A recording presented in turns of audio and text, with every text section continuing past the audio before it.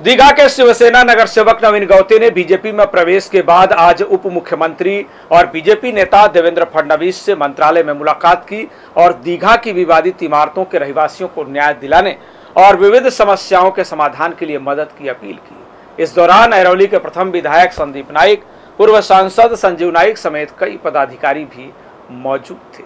देखिए रिपोर्ट।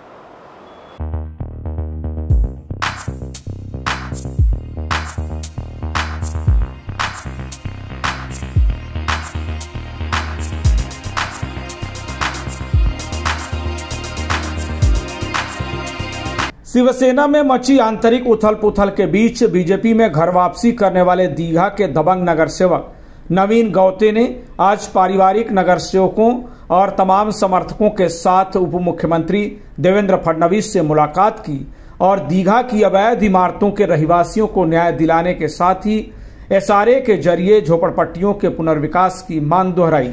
इस दौरान पूर्व सांसद संजीव नाइक पूर्व विधायक संदीप नाइक समेत कई पदाधिकारी भी मौजूद थे।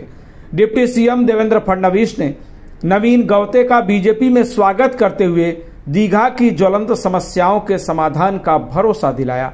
उन्होंने ऐरोली के प्रथम विधायक संदीप नाइक और पूर्व सांसद संजीव नाइक के नेतृत्व और प्रयासों की भी सराहना की।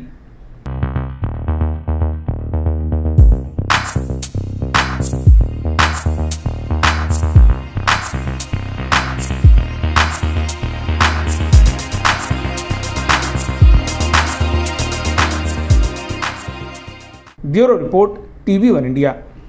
Latest updates और ताज़ा तरीन खबरों के लिए टीवी वन इंडिया लाइव को सब्सक्राइब कीजिए और नोटिफिकेशन पाने के लिए बेल आइकॉन को दबाना मत भूलिए।